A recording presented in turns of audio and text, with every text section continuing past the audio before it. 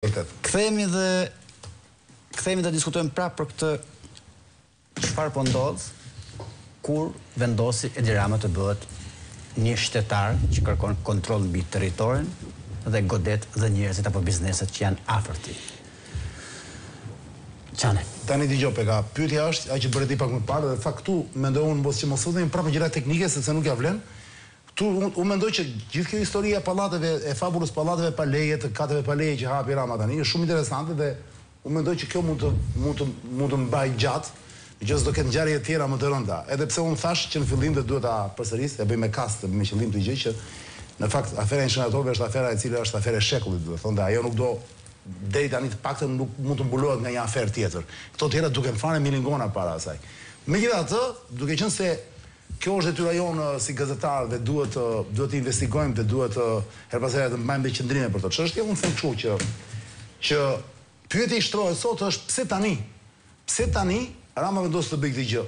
Unë unë mendoj që ka disa arsye, një nga arsyet e që kam marrë vesh nga nga edhe nga burime pranë pranë kryeministrisë është që me sa duket në këtë rontre politik pra në këtë kthim jo kthim, si si thuhet kur kur kalamajt kthehen prapë në shkollë në sezon të vjeshtë? Rikthim. Në këtë rikthim pra të ri politik, unë mendoj që Rama po luan me një kartë shumë interesante që thotë opozitë s'ka, do e bëjë vetë opozitën.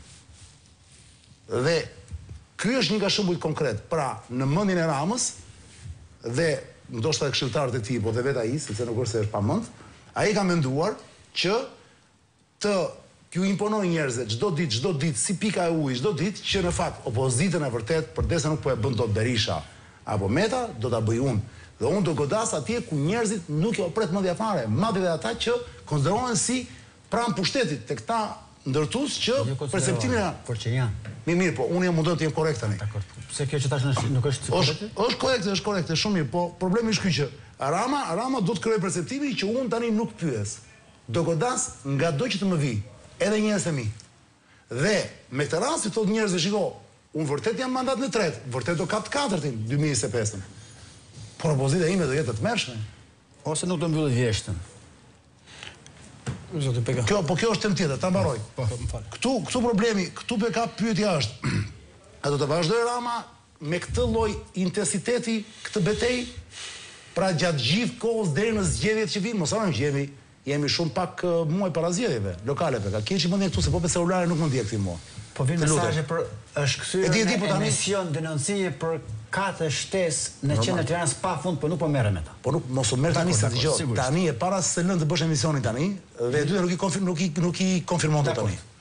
Po lëre, lëre, lëre të pekas, nuk, nuk flas që se, se nuk e ka mendje drejtuesi emisionit. Lutem. Më dërgojnë një foto të asaj kullës që, që ju s'e kishit parë para kryeministrisë me pesë kate shtesë. Jo pra, po, hajt nxirre pra ta shoh. Po. Ja ua nisa? Po po. Okej. Okay. Ajo që thosha është kjo. Rama e ka strategji thjesht momentale këtë gjë, pra do vazhdojë 3-4 ditë një javë do e lërë, apo ka në plan Se mos harroni, kjo ka një kontekst lokal e gjitha, a? A të kërkoj ndjesë për një gjë? Pallate pa leje, të gjitha këto. E, po vijnë zgjedhjet e bashkisë. Unë do të sugjeroja, sa të kesh e